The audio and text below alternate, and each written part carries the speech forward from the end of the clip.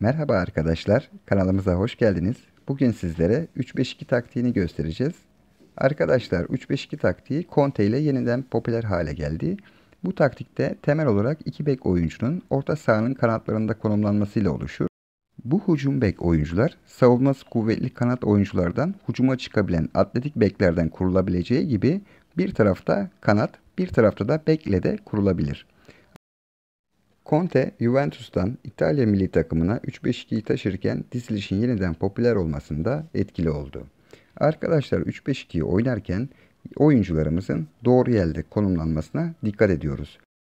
Stilimizi kaleyi görünce vur şeklinde ayarlıyoruz. Çizgi taktiklerine geldiğimizde tüm oyuncular konumlarını koruyorlar. Arkaj ve offside taktiğine geldiğinde alan savunması offside hayır, mücadelemiz agresif Baskı stil tempomuz ise 66, 70, 75 şeklinde ayarlanıyor arkadaşlar. Bizim güçlü olan ligimiz olan 9. FFC liginde taktiğimizi, ayarlarımızı denemiş olacağız. Şimdi iki tane maçta denedik ve devam edeceğiz denemeye. Manchester United ligin lideri Juventus'la karşılaştı.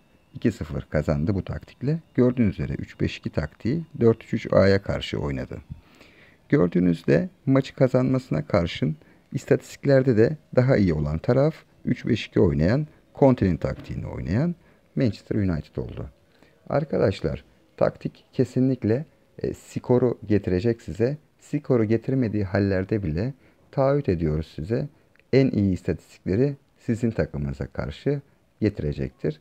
Şimdi gördüğünüz üzere bu maçta da Barcelona'ya karşı maç 1-1 bitmesine rağmen bütün istatistiklerde yine 3-5-2 oynayan taraf etkili oldu. Gördüğünüz üzere arkadaşlar istatistikin tamamına hakimiz.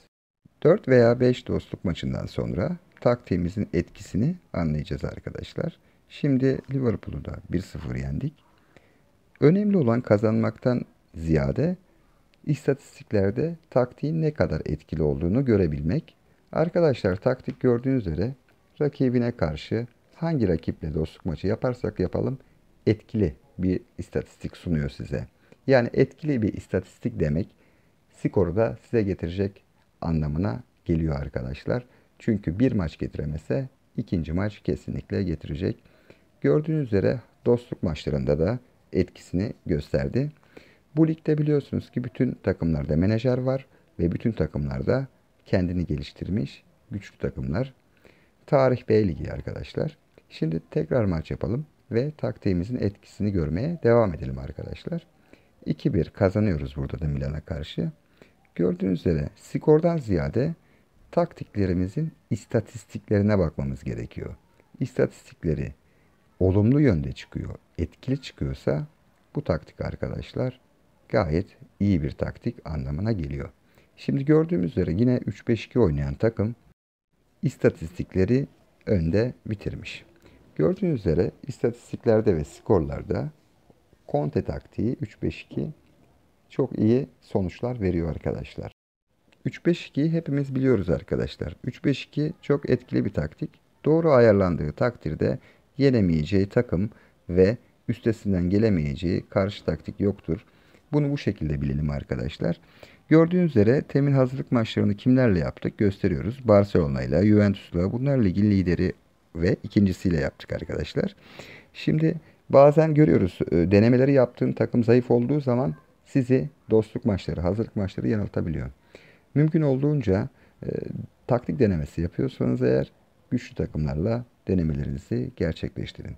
Arkadaşlar videomuzu beğenip kanalımıza abone. Hoşçakalın.